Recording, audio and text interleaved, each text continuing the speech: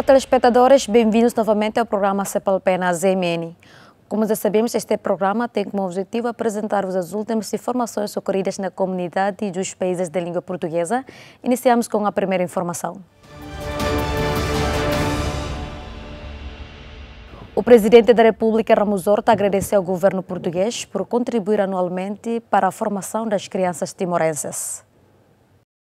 O presidente da República, José Ramos Horta, marcou presença na cerimônia de recepção aos alunos da Escola Portuguesa de Dili, que marca o arranque do novo ano escolar. O chefe do Estado elogiou o excelente trabalho realizado na escola, assim como nos cafés, contribuindo para a melhoria do ensino em Timor-Leste. Eu vim à escola portuguesa, como sempre tenho vindo, mas também eu apoio todas as outras escolas, como por exemplo as escolas CAFE, que é também muita boa qualidade, professores timorenses e portugueses que ensinam nas escolas CAF em todos os municípios, com mais dificuldades que esta escola. Esta escola, muito alto nível, o certificado dessa escola é reconhecido em Portugal, em qualquer país europeu, portanto, eh, e quase 99% são timorenses, alguns estrangeiros, mas poucos. Portanto, agradeço ao Estado português de todos os anos gastarem aqui 5 milhões de euros com esta escola. Após duas décadas de existência, a Escola Portuguesa Rui Sinati de Dili conta agora com a colaboração de uma professora timorense. Foi aluna da EPD, além de ter prosseguido os seus estudos superiores em Portugal. O diretor Acácio Brito disse que a escola continua a trabalhar no sentido de formar os alunos capazes de contribuir para o desenvolvimento do país. Manifestou ainda o desejo de que um dia a direção da EPD venha a ser ocupada por um timorense. É que neste momento faz parte do quadro de docentes da nossa escola uma antiga aluna da nossa escola que foi fazer a sua formação a Portugal e neste momento é a nossa professora de ciências e também é a nossa nutricionista. Isto é, uma aluna da escola portuguesa já é professora da escola portuguesa. Uma salva de palmas para a professora Renil. Não me vou alongar muito, vou novamente reiterar os meus agradecimentos, os meus agradecimentos eh, ao Sr. Presidente José Ramos, Dr. José Ramos Horta, porque a sua presença obriga-nos a continuar a fazer mais e melhor.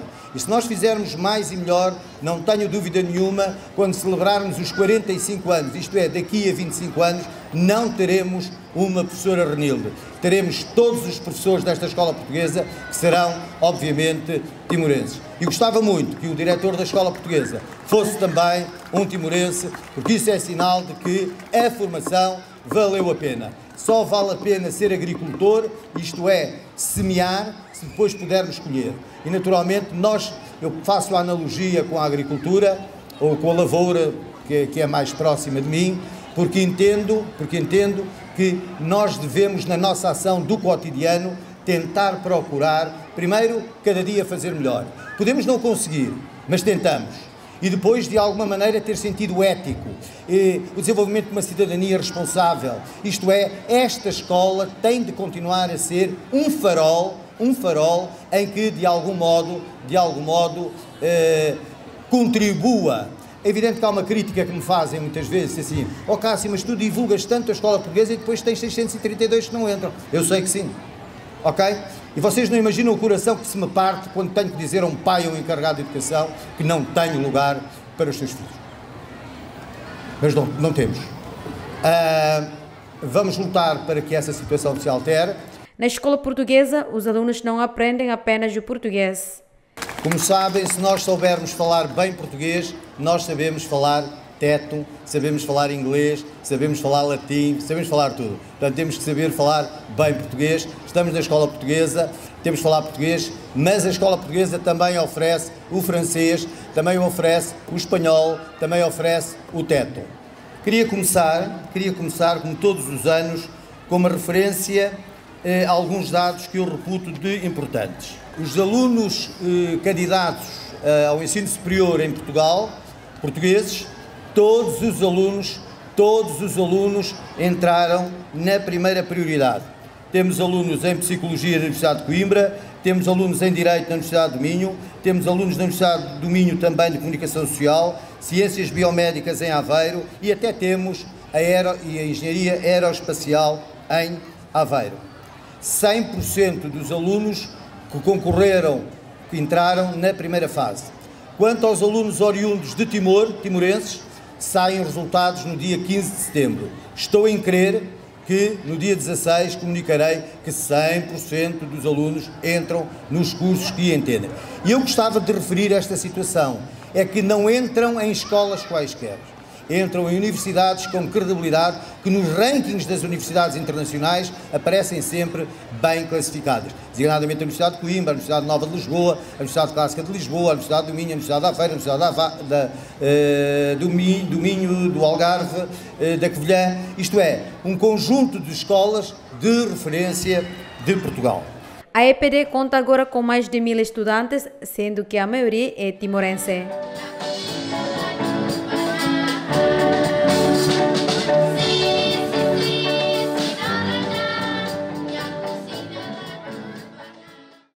O secretário-geral da Fretilin disse que o partido saiu reforçado do 5 Congresso Nacional. Recuperou a natureza frentista e iniciou um processo de transição geracional. Numa entrevista à Lusa, Mariel Catiri disse que, como a maior organização político-partidária do país, a Fretilin é um partido que busca a inclusão, mas não a submissão a outros. O secretário-geral admitiu que os militantes da Fretilin se mostraram preocupados sobre a situação do partido e do país. Notaram que desde a restauração da independência do país, o partido não trabalhou na sua base frentista. Alcatira explicou que, a partir do próximo mês, o partido vai voltar às bases para identificar os novos talentos e líderes naturais.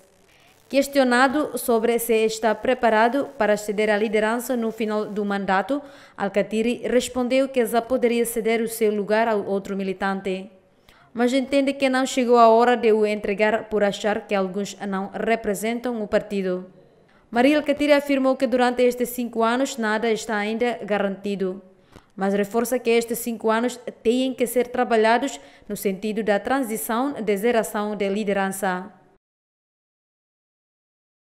O presidente da Fretilin apoia novo gasoduto da Greater Sunrise para Timor-Leste se for viável.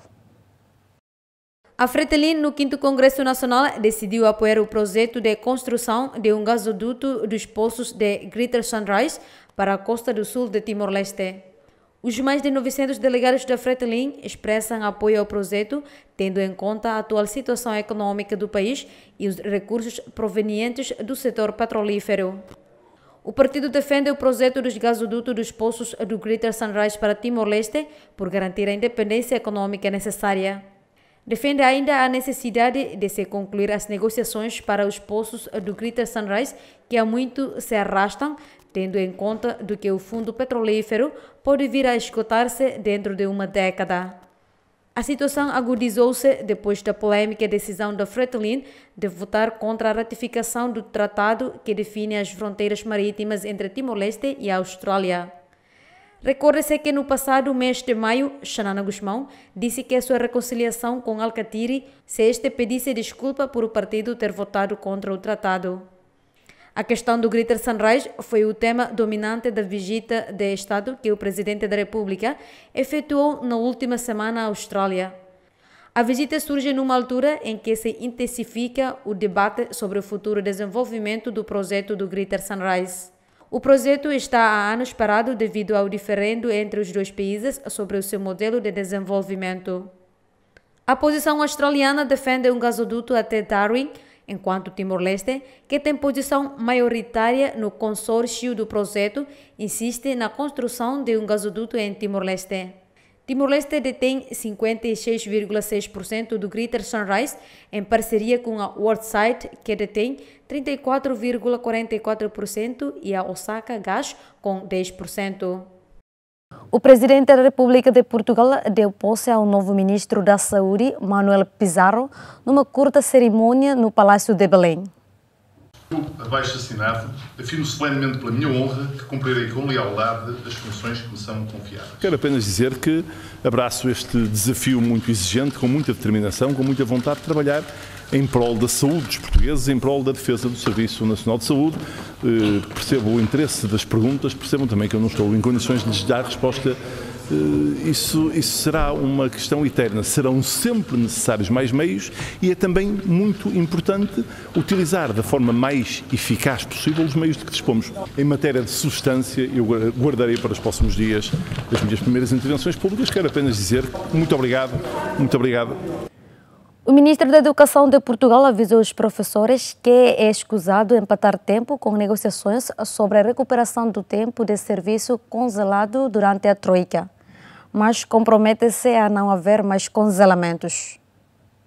Nós podemos dar garantias de que as carreiras, a carreira docente, não vai voltar a ser congelada. Uh, e, e, e, faz, e, damos esta garantia porque o processo de descongelamento e de recuperação de tempo de serviço foi feito com responsabilidade orçamental. Uh, se não fosse, se não tivesse sido, nós hoje podíamos estar numa situação mais delicada.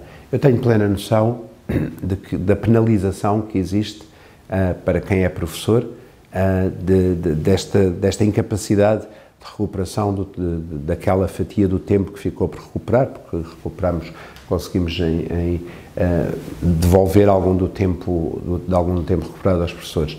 Mas isto são, são infelizmente, todos nós que, que, que trabalhamos e que vivemos aqueles anos, Uh, tivemos consequências nas nossas carreiras, uh, nas nossas vidas, que permaneceram. É? Na, na, na, minha carreira, no ensino superior, recuperámos zero de tempo de serviço.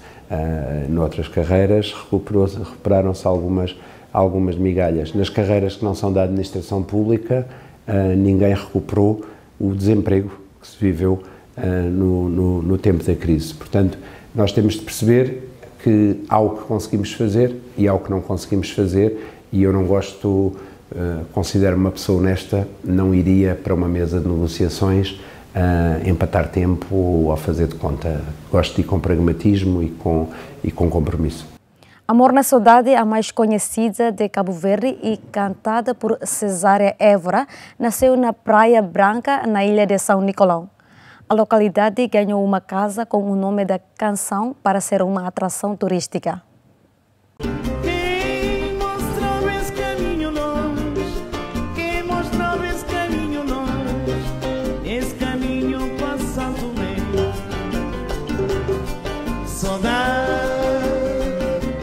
Geralmente acompanhada por viola, cavaquinho, violino e piano, o instrumento de excelência da morna é o violão, introduzido em Cabo Verde no século XIX. A morna Saudade, que foi celebrizada por Cesária Évora, tornou-se na canção mais emblemática e cantada de Cabo Verde. Este tipo de música nasceu em Praia Branca, localidade na ilha de São Nicolau, que ganhou uma casa com o nome da canção para ser uma atração turística, tendo sido instalada na antiga moradia do falecido Armando Zeferino Soares, que nos anos 50 do século passado compôs A Morna Saudade. Tem sido uma grande atração para a Praia Branca e nesse momento estamos a, a querer retratar a história de Praia Branca, não só parte da Morna Saudade, mas também da festa do São João que é feito nessa localidade, nessa vila, eh, no mês de junho. Nós queremos que a vila de Praia Branca, através da Morna Saudade, seja um, uma atração turística para a ilha de São Nicolau. Porque se hoje Cabo Verde é conhecido como nós temos alguma dúvida em relação a onde fica Cabo Verde, é só cantar a morna de saudade eh, e as pessoas já lembram onde fica em Cabo Verde. Então por isso nós temos que também ter mais um... Vai ser, nós estamos a concorrer para ser uma das aldeias turísticas de Cabo Verde. Acho que nós temos tudo de Cabo Verde aqui em São Nicolau. Temos praia, temos eh, temos montanha, temos a nossa cultura, então acreditamos que é a ilha que tem mais, eh, que representa Cabo Verde em termos de, de cultura. A música tenta transmitir as saudades daqueles que deixavam a ilha em busca de uma vida melhor nas roças de São Tomé e Príncipe, na sequência das grandes secas e fomes que assolavam o país em meados do século passado. Além da Casa da Morna Saudade, Cabo Verde tem outro centro interpretativo da Morna na Ilha Brava, a Casa Museu Eugênio Tavares, e prepara-se para abrir uma Casa da Morna na Boa Vista, ilha que é tida também como local onde nasceu este género musical. Para nós, eh, aqui desde o do, do do Instituto de Património Cultural, o facto de termos aqui uma representatividade territorial justificou esta classificação da Morna, o que por si só mostra claramente que a Morna é nacional, independentemente do seu berço. É um custo aceitável se considerarmos o facto de estamos perante uma manifestação cultural que é património imaterial, de, de, de um centro, um núcleo histórico embrionário da Ilha da Boa Vista, que é a povoação velha, eh, da figura da Maria Bárbara, que é uma figura emblemática relativamente às cantadeiras da Morna, ou seja, as embrionárias eh, da Morna, e o papel central que a mulher, neste caso, através da Maria Bárbara até Cesar Évora, passará a ter uh, nesse espaço de, de, de, interpretação uh, da, da Morna. Pintada de azul no exterior, a casa na Praia Branca convida o visitante a mergulhar na história desse género musical, com retratos dos muitos compositores e intérpretes, discos, cassetes, vídeos, instrumentos musicais, tudo ao embalo da morna, considerada a música rainha de Cabo Verde e o género mais representativo do contexto cultural das ilhas. Em 2021, no seu primeiro ano e meio de funcionamento, a Casa da Morna Saudade foi o segundo museu mais visitado em Cabo Verde, atrás do ex-campo de concentração do Tarrafal de Santiago. A Morna foi proclamada pela Unesco em dezembro de 2019 como Património Imaterial Cultural da Humanidade.